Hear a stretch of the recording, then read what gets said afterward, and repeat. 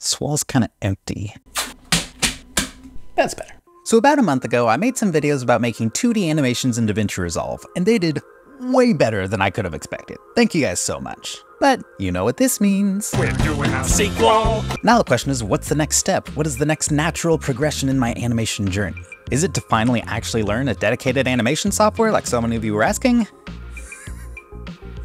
No, it's to do even more of it in DaVinci Resolve. Now, I wasn't originally planning on doing another animation video, at least not for a while, but one day I got struck with inspiration for an animated video and I just had to make it. And that inspiration came from a meme, of all things. Specifically, this meme. It comes from a scene in Megamind where he traps Metro Man and they're bantering back and forth. It's a great scene. But I saw that meme and I thought, you know who would fit really well there? A platypus?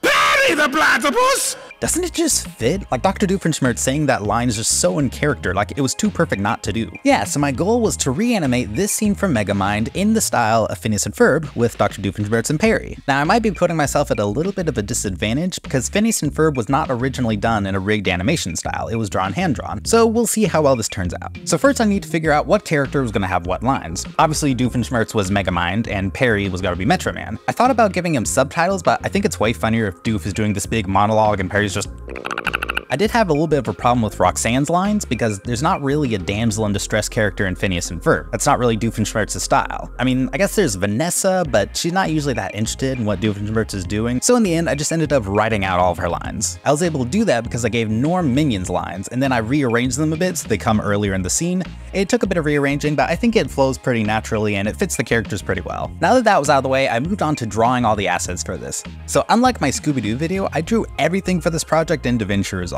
I did that using this technique I got from a Casey Faris tutorial. I definitely recommend you check out that video, but in a nutshell what I did is I took a polygon and a background and used that to get the main shape of what I was drawing. Then for the outline I would use an instance of that polygon node with solid unchecked and gave it a bigger border width. Then I would plug that into a different background. And that's how I drew all the characters, backgrounds, and props except for this background which a friend of mine drew for me. Next I move on to the rigging. So the technique I used for rigging is the exact same as my rigging tutorial. I was able to find some clips from the show and use that to make mouth shapes for Doof and Perry. Norm obviously didn't need me. The final rigs I used ended up ranging from very simple to very complex. Perry, I only added controls for his mouth and to move his eyes because that's all I need him to do for the animation. Whereas Doof, I had tons of different controls. I ended up using two different custom nodes to control them all just so that everything would be a bit easier to do. So I had one for his head and one for his body. So I was able to control things like his eyes, his eyelids, his eyebrows, his hair, his coat, his legs. Like it, it might have been a little bit overkill to be honest. And it was still all following those techniques from that tutorial. And then there's Norm, who's just a picture I dragged around. Once I had all those made, I sat down and recorded all of my lines. A platypus?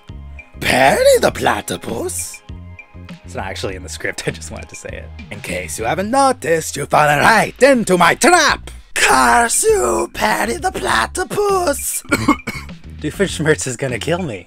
Yeah, just a disclaimer, don't be like me. I had just gotten over a throat infection the week before, and then I destroyed my voice again doing Doofenshmirtz's lines. It's like I'm still coughing because of it, so uh, don't do that. And to top it all off, my Doofenshmirtz isn't even that good. So I took that audio and used it to make an animatic. So an animatic is kind of like a storyboard. It's a rough cut of the video with the voices, and then I just use pictures to let me know what shots I needed to do. Over here, Perry the platypus. In case you haven't noticed, you fell right into my trap! This helped me nail the timing down, which is important for a more comedy-based video. And working on the animatic, it also gave me a new idea for the ending. I won't spoil it for you now, but at first I wanted this to feel as much like an actual Phineas and Ferb episode as possible, but when I was making the animatic, I added something as a joke that they probably wouldn't have done in an actual episode, but I found it way funnier than my original ending, so I just went with that. Once I had that done, I could move to the fun part of animating. So I realized I made three videos about animation in DaVinci Resolve, but I never actually talked about my process of animating. Whoops. Now there was a reason for that. I'm not a professional animator at all. This might not be the best or most efficient way to do it. It's just kind of what looked good for me. So if you're an actual animator or something and you know a better way to do this, please let me know. So each shot was a little bit different, except for all the Perry shots, that was basically the same shot copy pasted. But for the Doofenshmirtz scenes, I found a workflow that worked pretty well for me. First, I started out with the lip sync. I would go frame by frame and match his mouth to the audio. It sounds pretty tedious, but it's actually not that bad, and also seeing the end result is really satisfying to watch. Then I animated the rest of the face, like the eyes and eyebrows, getting the expressions down. After that, I would work on the body. I focused mostly on getting the poses right at this stage, I would move on to fixing the timing later. I also added a transform node after the rig and keyframed the angle of that to make him move back and forth a little bit. Because you only see him from the waist up in most of the shots, I didn't actually have to worry about the legs, which kind of raises the question of where I rigged them, but oh well. This just added a bit more life to the animation, especially since it's just him talking. After that, I messed around with the splines and keyframes and made everything look smoother. So one tip I found to make your animations look more natural, have your characters blink. I couldn't figure out why he was looking so stiff, but I added a blink in the middle of the animation and that added a lot to make him look more natural. So overall, I'd say this was a little bit trickier to animate than my Scooby-Doo video, which is kind of weird because my Scooby-Doo video had a lot more action shots, while this one is mostly just Doof standing around talking. The thing about having more action shots is I have a very clear idea of what the motion is going to be going into each shot, but with dialogue, I just kind of have a vague idea that he's going to be talking. Like, I know I want him to be moving, but you don't want to have him moving too much because people don't talk like this. But you also don't want to have him standing completely still the whole time because people also don't talk like this. So I had to find a balance that worked for that. Honestly, I think that's something I still need to work on a little bit. I feel like in some of the shots, maybe he has too much movement. I don't know, I'll let you be the judges of that. So I went through and animated all 18 shots and everything was looking pretty good.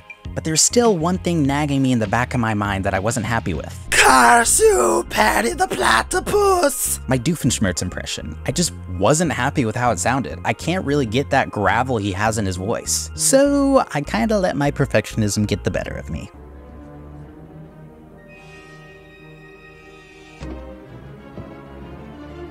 Yep, I used an AI voice. Now I know AI is a subject that a lot of people have very strong thoughts about, and I also have my thoughts on the subject. One of the reasons I didn't use AI in my Scooby-Doo video is because there was another fan-made Scooby-Doo project that got in some hot water for using AI voices, so I wanted to avoid that kind of controversy. Also, I felt a lot more confident in my impressions for that video, especially by Scooby, I feel like that's pretty good, but even Shaggy was, it, it's not great, but it's passable. But my Doofenshmirtz impression I am a lot less confident in. And it's not like Doofenshmirtz is a stranger to AI. He and Plankton are kind of like the poster children for those AI song covers.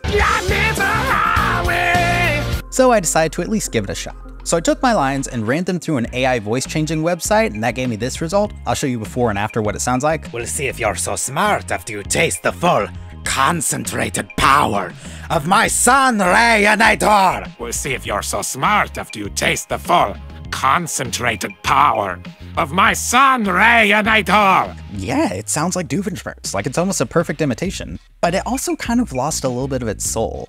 Like, I don't mean that like in a big hyperbolic sense, like, I mean literally, like, it took off some of the performance. It's a lot more subdued sounding, he doesn't have nearly as much energy, which is kind of a problem when the whole point is that he's shouting most of his lines. So after giving it some thought, I decided that having the performance right and him feeling like the character was more important than him sounding exactly like the character. That and, you know, the potential ethical problems that come with it, which I guess I'll deal with another day. If you're interested in hearing the AI version, I do have that version down below as an unlisted video, and that one also has the original ending if you were curious about seeing what that was like. I feel pretty good about my decision, but let me know if you think you prefer that version. Now normally this would be the part of the video where I show you the final animation, you watch that, and then we go along our merry way. But this time I kind of have a proposition. So this is Dan Povenmire. He's one of the co-creators of Phineas and Ferb, and he's the voice of Dr. Doofenshmirtz. He is very active on TikTok and YouTube, and a lot of times he reacts to fan-made Phineas and Ferb content. So my proposition is this. You watch the final animation, and if you think it's good, maybe send it along to him. How cool would it be to get an animation industry veteran reacting to an animation made all in DaVinci Resolve? Now with that said, you can check out the final animation right here. Over here, Perry the Platypus. In case you haven't noticed, you fell right into my trap!